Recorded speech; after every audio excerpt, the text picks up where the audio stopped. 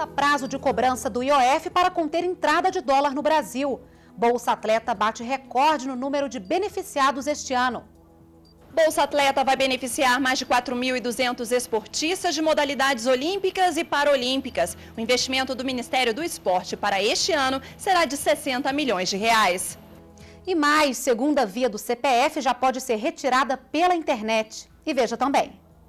Programa Mais Educação vai beneficiar 5 milhões de estudantes este ano em todo o país, inclusive em escolas rurais. O projeto para mim é importante, fazer as coisas, teatro, clube, vôlei, para mim aprender mais as coisas.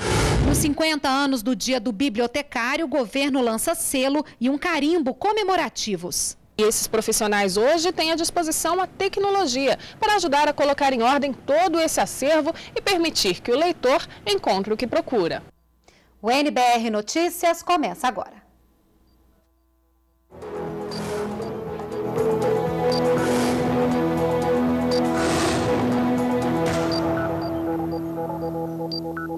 Olá, boa noite.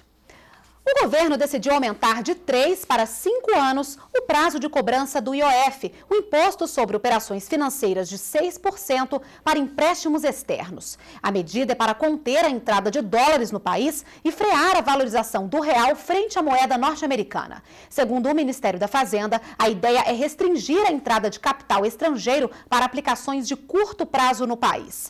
No dia 1 de março, o governo já havia aumentado de dois para três anos a incidência da alíquota. O ministro do Esporte divulgou hoje a nova lista de atletas que terão patrocínio. Este ano, 4 mil esportistas em 53 modalidades olímpicas e paralímpicas serão beneficiados com Bolsa Atleta, um recorde. A novidade é que agora a lista de bolsistas passará a incluir atletas que antes não podiam pedir o benefício porque já tinham algum tipo de patrocínio. Este ano serão beneficiados com a Bolsa Atleta 4.243 esportistas de 53 modalidades olímpicas e paralímpicas. Deste total, 1.936 atletas renovam o patrocínio do governo federal. Outras 2.307 bolsas são novas concessões e variam de 370 reais a R$ 3.100, conforme a categoria, que pode ser de base, estudantil, nacional, internacional e olímpica e paralímpica. Em relação a 2010, houve um aumento de 33% no número de atletas contemplados. O Ministério do Esporte vai investir, em 2012, 60 milhões de reais para atender atletas. Não importa a condição econômica, apenas ter bom desempenho no esporte. O governo federal quer descobrir talentos, transformá-los em profissionais e mantê-los em atividade. No programa Bolsa Atleta, ele é estruturado em cima é, do resultado esportivo única e exclusivamente. Então nós discutimos com cada confederação de cada modalidade quais são as, as competições mais importantes é, para aquela modalidade, seja no nível estudantil ou de base, seja no, na categoria nacional, seja na internacional e também, claro, os Jogos Olímpicos e Jogos Paralímpicos.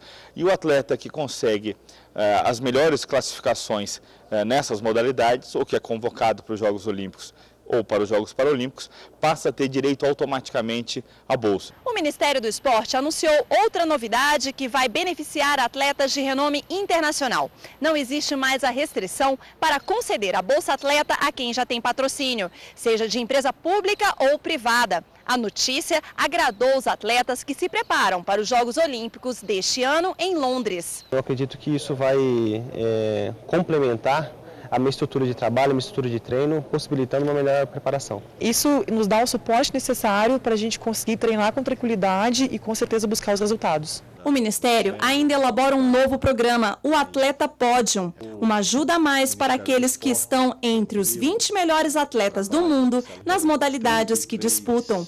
E os treinadores dos atletas beneficiados pelo programa não foram esquecidos. Para incentivar a dedicação exclusiva de quem apoia o esporte e ajuda a fabricar campeões, o Ministério do Esporte estuda o pagamento da Bolsa Técnico. Nós já registramos casos de atletas que não podem contar com a assistência de um técnico permanentemente, que às vezes, quando vai participar das competições, não pode pagar a passagem do técnico, não pode pagar a hospedagem do técnico, e muitas vezes vem aquele técnico que lhe prestou assistência antes da competição, prestando assistência ao competidor na hora da competição. A lista com os nomes dos atletas contemplados pelo programa Bolsa Atleta está disponível no site que aparece na tela. E aqui em Brasília, Hugo Parisi é um dos esportistas que recebe o Bolsa Atleta. Com recurso financeiro desde 2005, Parisi pode se dedicar exclusivamente ao esporte. Tanta dedicação rendeu a ele uma vaga nos Jogos Olímpicos de Londres. É a terceira Olimpíada no currículo desse brasiliense. Oito horas de treino por dia e quase 300 saltos na piscina. Tanta dedicação já rendeu a Hugo Parisi a vaga nos Jogos Olímpicos de Londres este ano. É a terceira Olimpíada no currículo desse brasiliense que, para chegar neste nível, teve que ter muita disciplina. A maior parte do tempo eu posso dizer que a gente está aqui ralando o dia inteiro na piscina, né? Horas e horas aqui de repetição e, e musculação e, né, e exaustão física. E tem horas que também que a gente até quer fazer alguma coisa, mas nem consegue, de tão cansado que está. Hugo recebe a Bolsa Atleta do Ministério do Esporte desde 2005. Com o valor mensal de R$ 3.100, utiliza o dinheiro principalmente em viagens para participar de competições no Brasil e exterior. Mas o recurso financeiro também dá tranquilidade para o dia a dia de treinos. O tempo que eu estou me dedicando aqui, né, é a retribuição que eu tenho para não, não precisar é, buscar esse dinheiro fora daqui do, do meu treino. Então são horas a mais que eu ganho de treino e de dedicação. Hugo Parisi considera a Bolsa Atleta fundamental para a carreira. Eu acredito que se não fosse esse investimento do governo, é, dificilmente eu teria chegado numa segunda Olimpíada ou na terceira Olimpíada como eu estou chegando agora. É o que confirma o técnico de Hugo, que está sempre junto na preparação do atleta para as competições. Para chegar no nível que ele está, tem que ser profissional, né? tem que ter uma dedicação forte. Então, se ele não tivesse esse apoio, se ele tivesse que trabalhar em algum local, é, com certeza ele, ele não chegaria nem perto do nível que ele está hoje. A partir de amanhã estão abertas as inscrições para a edição 2012 do Prêmio Celso Furtado de Desenvolvimento Regional. São três categorias: produção do conhecimento acadêmico, práticas de produção e gestão institucional e projetos inovadores para implantação no território. Para incentivar a participação no projeto, o Ministério da Integração inicia esta semana uma série de encontros para apresentar os detalhes do prêmio. O repórter Paulo La Sálvia tem as informações. Paulo, boa noite. Boa noite, Renata. Celso Furtado foi um dos maiores economistas do Brasil no século passado e passou a vida estudando o desenvolvimento regional do Brasil. Este também é o tema central desta segunda edição do Prêmio Celso Furtado, que, na verdade, neste ano vai homenagear um outro grande economista brasileiro. Quem vai dar mais detalhes sobre o prêmio deste ano é Sérgio Duarte, secretário de Desenvolvimento Regional do Ministério da Integração Nacional. Boa noite, Sérgio. Quem que é esse economista que vai ser homenageado neste ano? Por que, que ele vai ser homenageado? E as pessoas que se interessarem em se inscreverem, o que devem fazer? É, boa noite. Dizer, nós vamos homenagear nessa edição do prêmio o economista Rômulo de Almeida, que é um dos grandes economistas brasileiros, é um baiano com enormes serviços prestados ao Brasil e especialmente a temática do desenvolvimento regional. Ele foi um economista que trabalhou com Getúlio Vargas no seu segundo governo e participou da, da concepção de projetos importantes como da Petrobras, da Eletrobras, do BNDES e do BNB, cujo banco ele foi o primeiro presidente. Agora são três categorias. Agora, apenas acadêmicos, professores universitários podem se inscrever. Como que é essa é, avaliação de quem pode se inscrever e como deve se inscrever? Sim, na verdade nós temos é, diferentes critérios para as três categorias. Na primeira categoria podem participar pessoas que terminaram suas teses de doutorado ou dissertações de mestrado acadêmicos nos últimos três anos. Nas outras duas categorias podem participar tanto os funcionários, servidores das três esferas de governo, de entidades paraestatais como o SEBRAE e outras, e ONGs que tenham trabalhos, sejam projetos como ações realizadas na área de desenvolvimento regional. E o que essas pessoas devem fazer para se inscrever? A inscrição começa hoje, vai até o dia 31 de julho e pode ser feita pelo site www.mi.gov.br/prêmio. Qual que é a premiação e quando que ela vai ser distribuída? Olha, nós temos 209 milhões que serão distribuídas igualmente entre as três é, categorias. Nós vamos, no final de outubro, teremos a, a, o anúncio já dos premiados e o prêmio será entregue no dia 5 de dezembro deste ano. Quem precisa da segunda via do cadastro de pessoas físicas, o CPF, já pode acessar o comprovante pela internet. Ao acessar o portal www.fazenda.gov.br, o contribuinte pode imprimir gratuitamente o comprovante de inscrição do CPF. A autenticidade do documento também pode ser checada por qualquer pessoa pela internet. Antes, a emissão do comprovante na página da Receita só era permitida para quem tinha cadastro no Centro de Atendimento ao Contribuinte, o ECAC. Em junho do ano passado, a Receita deixou de emitir o CPF em plástico. A inscrição pode ser feita com a apresentação de documentos como carteira de identidade, carteira nacional de habilitação, carteira de trabalho e previdência social. O programa Mais Educação, que oferece atividades em tempo integral aos estudantes do primeiro ao nono ano, vai alcançar neste ano 30 mil escolas públicas de ensino fundamental. Serão atendidos 5 milhões de estudantes em todo o país, inclusive em escolas rurais. Foi o que afirmou a presidenta Dilma Rousseff durante o programa de rádio Café com a Presidenta. Ter acesso à escola em tempo integral era mesmo um privilégio das famílias de maior renda e dos países desenvolvidos. Mas agora, com mais educação, escola integral, mais crianças e adolescentes do Brasil que estudam em escolas públicas também têm acesso a essas atividades. Elas ficam na escola no mínimo sete horas por dia, lá recebem um lanche pela manhã, almoçam e depois à tarde fazem um novo lanche. E o que é importante, tem reforço em matemática, português, ciências, praticam um esporte, têm aula de arte e ainda fazem informática. O MEC está com as inscrições abertas para novas adesões das prefeituras até o dia 30 de março. Vamos investir 1 bilhão e 400 milhões de reais neste ano de 2012 para garantir a estrutura do Mais Educação a todas as escolas inscritas no programa. E termina no dia 30 de março o prazo para as prefeituras aderirem ao programa Mais Educação. A repórter Carla Vatier visitou hoje na cidade de Águas Lindas, região do entorno de Brasília, uma escola que já adotou a educação integral e outra que ainda não tem o sistema.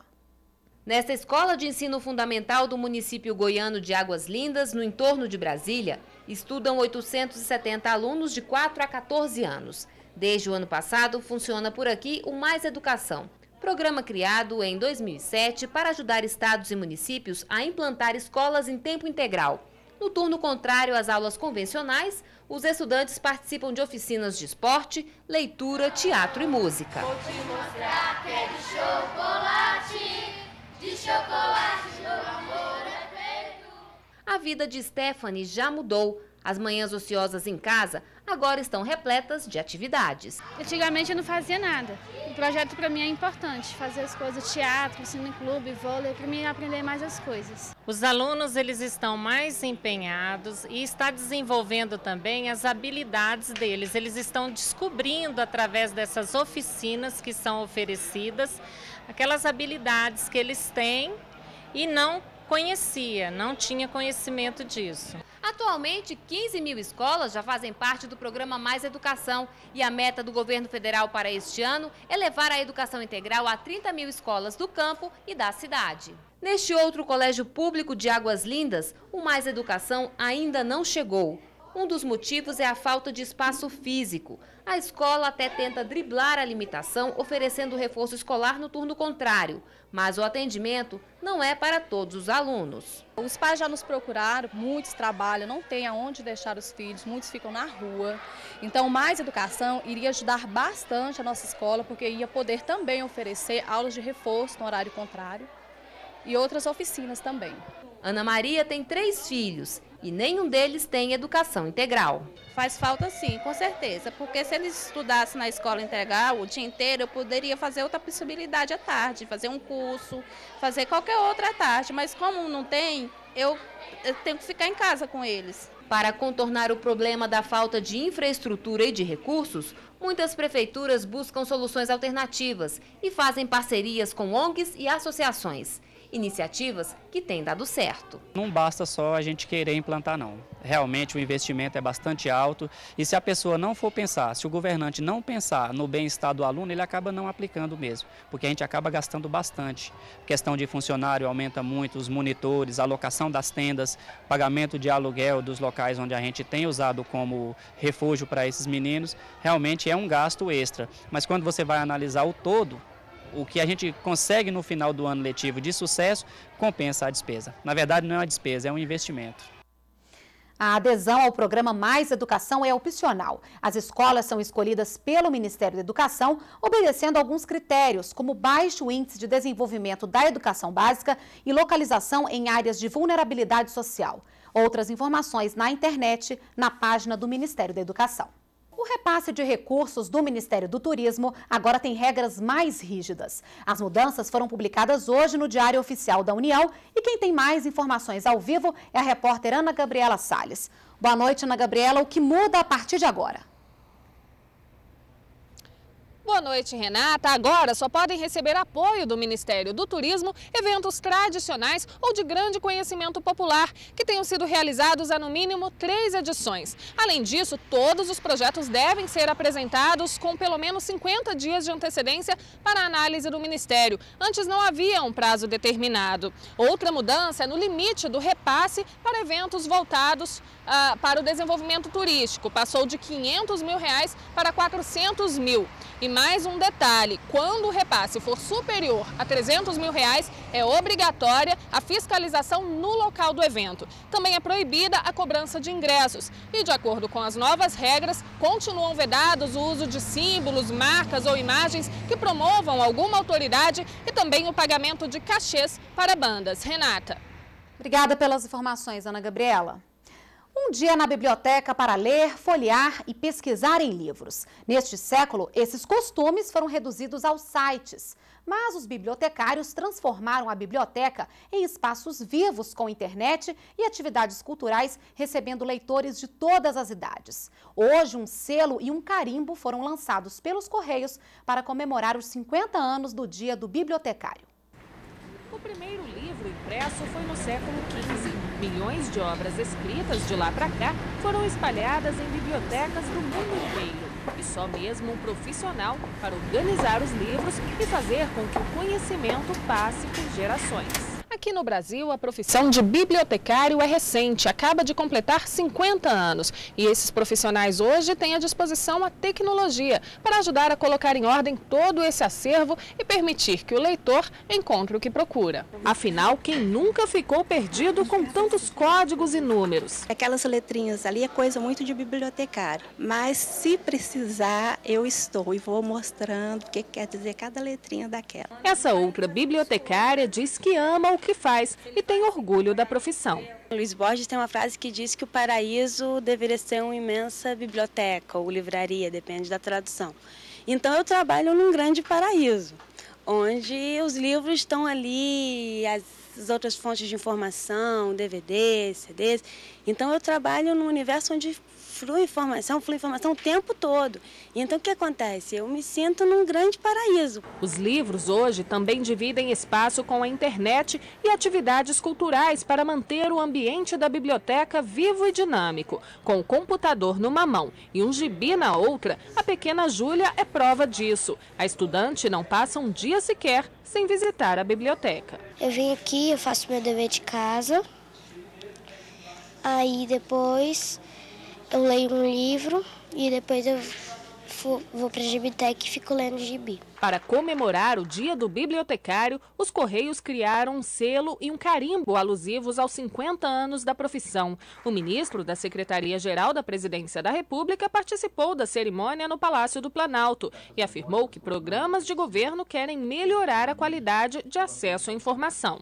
Se não dermos um salto de qualidade exatamente na questão da educação, da cultura, da informação, da qualificação, o nosso voo será um voo curto. Pode ser um voo chamado voo de galinha. Por isso, o esforço do nosso governo, com o Pronatec, com todo o programa de expansão universitária, agora com a questão do ensino básico, com toda a questão do Brasil sem fronteiras, da formação dos nossos jovens, inclusive em outras universidades, buscando a ciência pelo mundo afora.